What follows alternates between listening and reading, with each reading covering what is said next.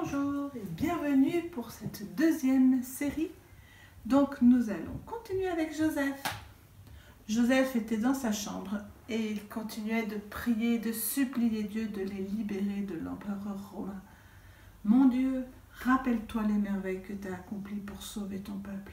Rappelle-toi, agis mon Dieu, viens nous libérer. Quand tu le décides, tu agis vite, tu agis vite, tu nous as sauvés avec puissance. Je me rappelle, mon peuple, quand il était esclave en Égypte. Il y a bien longtemps, ils étaient si nombreux que Pharaon voulait s'en débarrasser, voulait limiter les naissances, voulait leur faire travailler avec dureté. Ils ont construit les pyramides, ils ont construit la ville de Ramsès. Ils ont tellement fait sous les coups de fouet. Eh bien, mon Dieu, toi, tu es venu nous libérer. Un jour, une maman du peuple des Hébreux mit au monde un petit garçon.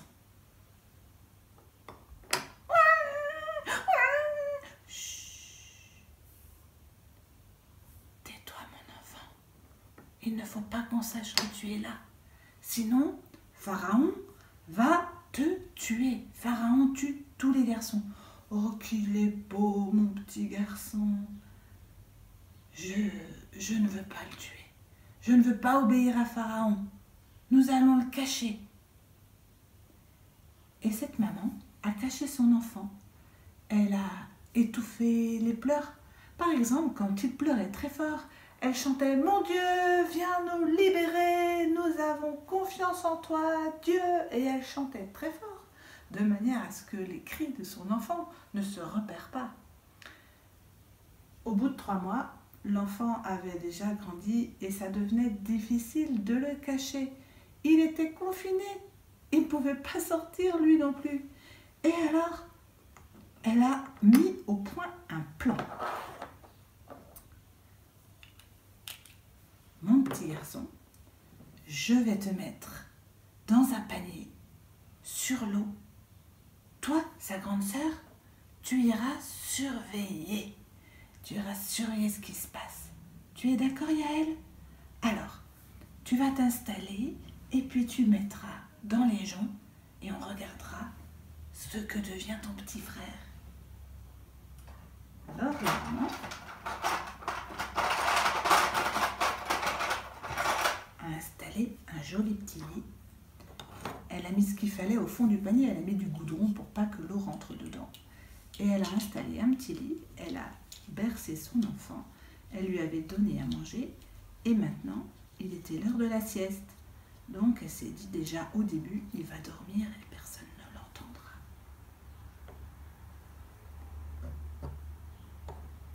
Mon fils, que Dieu te bénisse. Et s'il plaît à Dieu, nous nous reverrons. Elle emmène le petit panier et sa grande sœur au bord de l'eau. Nous sommes en Égypte. En Égypte, les Hébreux sont donc esclaves. Mais ce pays est impressionnant. Il y a le Nil, autour du Nil, plein de végétation, et de l'autre côté, le désert. Parce que le Nil coule au milieu du désert et il n'y a que l'eau, que la vie existe. Voilà la maman qui cache petit garçon parmi les gens. Cache-toi s'il te plaît, Yael. Tu verras ce qui se passera. Et elle retourne dans la maison. Oh, j'espère que Dieu va nous écouter et sauver notre petit garçon. Pendant ce temps,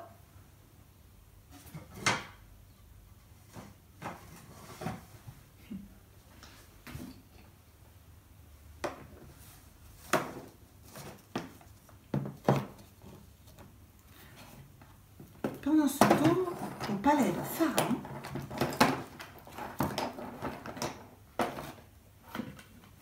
la fille voulait aller faire une promenade.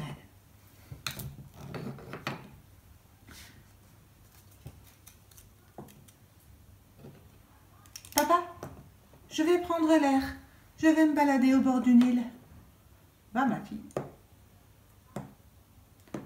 Fille de Pharaon se promène. Et tout à coup, elle entend Tiens, que se passe-t-il? Je vais aller voir de plus près. Oh, un petit bébé. Oh, mais c'est sûrement un enfant des Hébreux. Je vais le prendre, il sera à moi. Je vais t'adopter, petit garçon. Oh, tu es si mignon. Je t'emmène à la maison.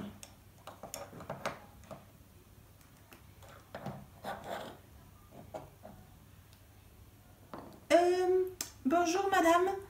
Bonjour mon enfant. Euh, Peut-être que si vous attendez un petit peu, je peux trouver une maman pour ce tout petit parce que il faut lui donner à manger. Je peux vous chercher une nourrice. Oh, si tu as une idée, je suis d'accord. Va, je t'attends. Maman, maman, viens. C'est la princesse, la fille de Pharaon, qui a pris le petit frère. Voilà. Bonjour madame, bonjour princesse. Bon, je réfléchis. Je vais te payer et tu vas nourrir cet enfant pour moi. Il est à moi, je l'ai trouvé. Tout ce que l'on trouve, c'est à soi. J'ai décidé de l'adopter et tu vas le nourrir jusqu'à ce qu'il puisse manger normalement. Je te donnerai ton salaire. Oui, promis, d'accord, je veux bien. Super, très bien. Je rentre à la maison et vous, rentrez chez vous.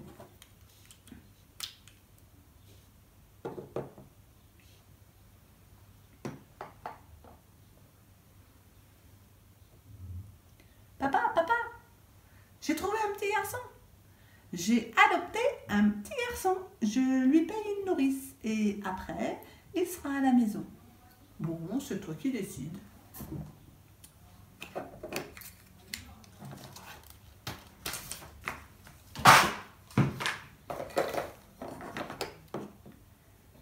Et voilà, notre fils est de nouveau à la maison.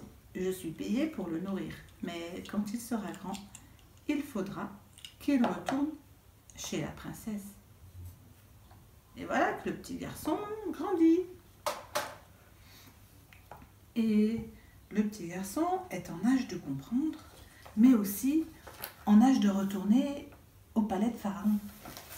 Alors, sa maman lui explique, tu sais, nous t'avons toujours enseigné que c'est toi notre fils, mais à partir d'aujourd'hui, tu vas devenir le fils de la princesse. Ne dis rien de qui tu es. Seulement comme ça, Dieu te sauvera. Mais souviens-toi toujours, Dieu est notre Dieu.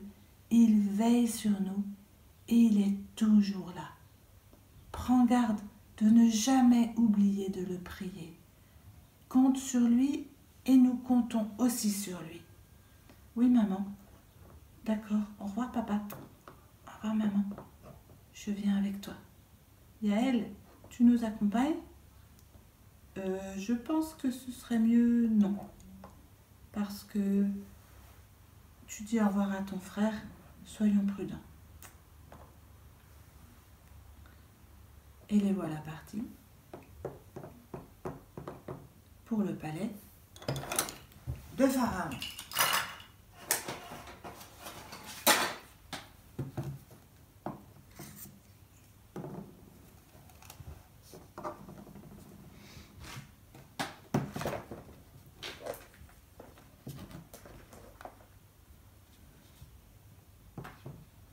Bonjour, voilà mon fils.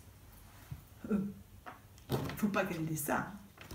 Bonjour, voilà votre fils. Je l'ai nourri, il est bien grand. Il peut habiter avec vous maintenant. Oh, mon enfant, je vais t'appeler Moïse, c'est-à-dire sauver des eaux, parce que je t'ai sauvé des eaux. Au revoir, madame. Au revoir. Et voilà que Moïse fut élevé au palais du Pharaon. Mais il ne sortait pas voir les Hébreux. Il restait, jouait dans la cour, il avait tout ce qu'il lui fallait. Et la fille de Pharaon l'aimait beaucoup et tout se passait bien pour lui. Quand il a grandi,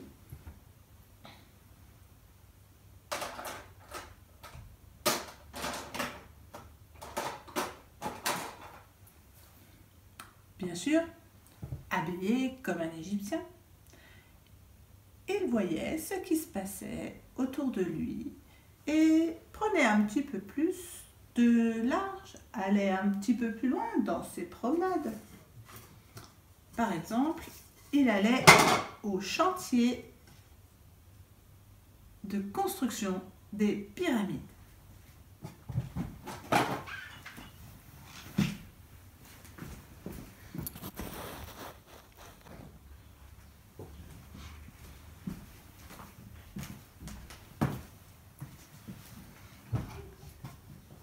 Moïse arrive donc sur le chantier de la construction des pyramides. Et que voit-il Allez, avance, plus vite, plus vite, ne traîne pas, arrête ça, qu'est-ce que tu fais? Tu te reposes Et ils tirent des charges lourdes, d'autres fabriquent des briques eux-mêmes avec leurs mains et ils ont un mal fou. Oh là là, celui-là tape de plus en plus fort et son hébreu tombe par terre. Il a du mal à se relever et l'homme le, fouette encore. Moïse sent son cœur battre. Il intervient, il regarde, il voit, il voit qu'il n'y a pas trop, plus personne ne le voit et il tape, il donne un coup, tue l'homme et se dépêche de l'enterrer.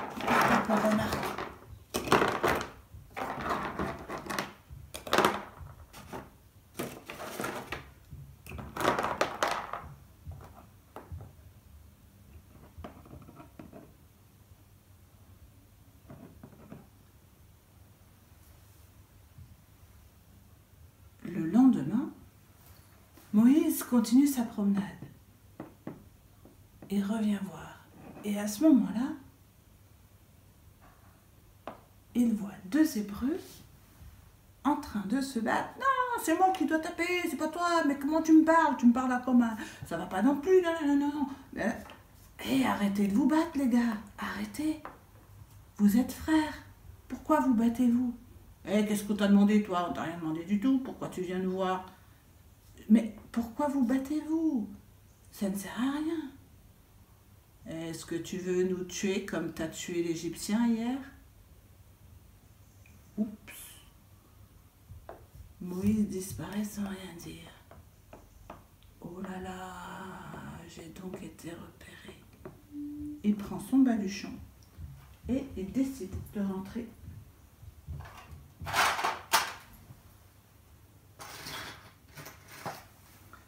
Et il décide de quitter la maison sans rien dire. Et il part dans le désert. Il marche, il marche, il marche dans le désert longtemps. Et il monte la montagne.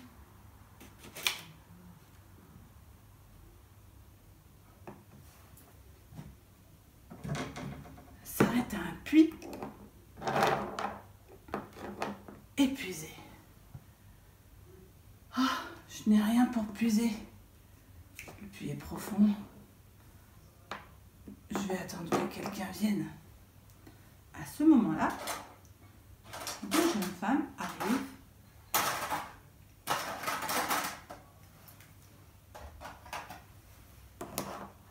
avec leurs animaux.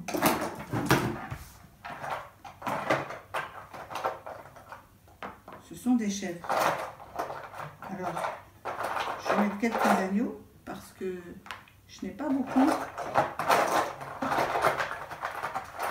de chèvres. Elles arrivent avec leur troupeau au puits.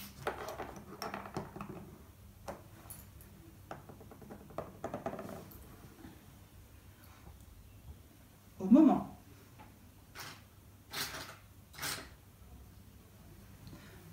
moment où elles allaient puiser, arrivent des bergers. Et là, les filles, poussez-vous, c'est nous d'abord. Et ils prennent leur seau pour puiser l'eau et servir leurs bêtes. En voyant ça, Moïse se redresse. Mais qu'est-ce que vous faites là? Voyez pas qu'elles sont arrivées avant? N'avez pas honte de malmener des jeunes filles? Donnez le seau. Moi, je vais les aider. Ils puissent pour elles, nourrissent leurs animaux. Ouf, moi j'ai soif. Ils boivent aussi un coup. Ça y est, toutes vos bêtes sont abreuvées, vous pouvez y aller. Maintenant, allez-y, servez vos bêtes. Merci, que Dieu te bénisse. Oh, merci. Et elles retournent avec leur petit troupeau.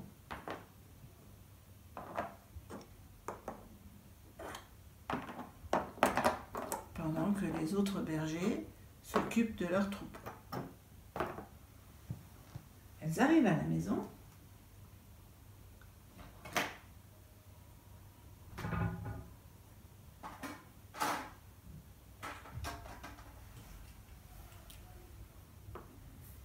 J'ai trop les voir arriver. Tiens, vous êtes déjà de retour, mes filles? Oui, c'est que un Égyptien est venu à notre aide à chasser les bergers et nous a donné abreuver nos, an- nos animaux. Et du coup, nous sommes de retour plus rapidement. Et vous l'avez laissé. Allez le chercher, invitez-le à manger avec nous. D'accord, papa. Monsieur, notre père, pour vous remercier, vous invite à venir avec nous pour prendre le repas chez nous. Avec plaisir.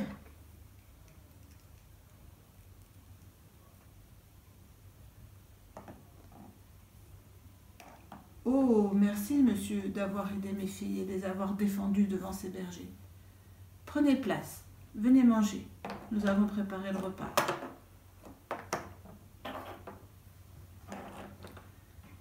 Si tu veux bien, tu pourrais rester à la maison et nous aider, aider mes filles à paître les troupeaux. Je veux bien. J'arrive, vous savez, je suis hébreu. Je viens d'Égypte, je suis habillée comme un Égyptien, mais j'ai été adoptée par la fille de Pharaon. Je suis un fils d'hébreu. Alors sois comme chez toi. Et pour t'accueillir, je t'offre ma fille en mariage. Oh, merci. Je travaillerai pour toi. La suite, ce sera pour lundi.